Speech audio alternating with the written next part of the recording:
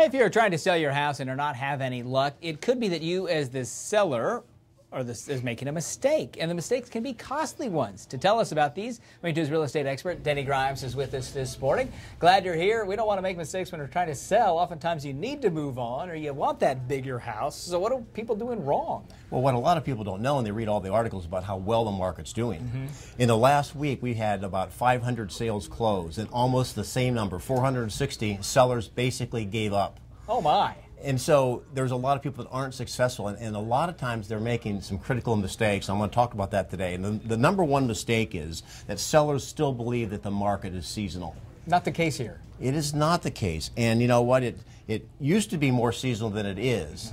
And it's not as seasonal as people think. For example, when you look at the Lee County in a single family home market, there's almost no variation. The second quarter is the strongest with 30% of the sales, the others are the same. Collier's identical. Now, when you get a little bit closer to the coast and you have the, the, uh, the condo market is a little bit more seasonal, but not significantly so.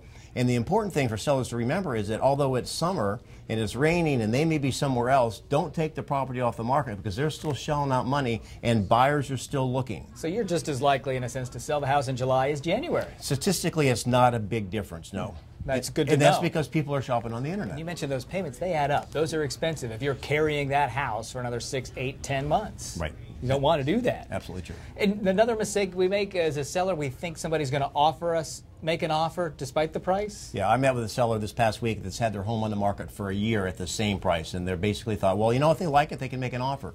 And again, because of the internet, buyers have been trained if they don't see what they want, just wake up the next day, there'll be a new listing in their inbox. And so our market is rational but not romantic. There's not a lot of love out there. Buyers are waiting, they're patient. Unless a family needs to move, a lot of people are making discretionary purchases. So they're not going to go and buy something they don't like. They'll wait for something better. And if the price is too high, they won't even make an offer on it. And that's why you've always said, price it right, it'll sell and sell fast. That's right. Absolutely okay. right. What do you mean when they're the what is it? Uh, that sellers are listening to what people are saying, not shouting. Right. They may have over a six month period of time. They may have three or four people looking at. It. And the frustrating thing for a seller is that everybody everybody said they love the home, but they don't buy it.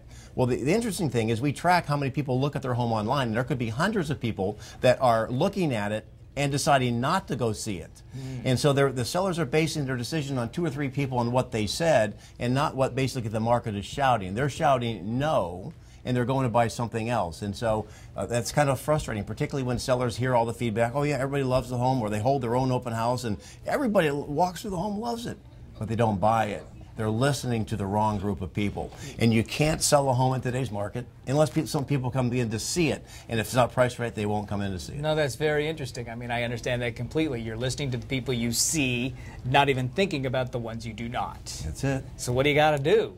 Well, you you have to. The agent better be talking, or you better be listening. If if no one is walking through your home, the market is shouting at you, say, look, you know what, you're not competitive. You're the bridesmaid, not the bride. And so generally speaking, it's a price or condition issue.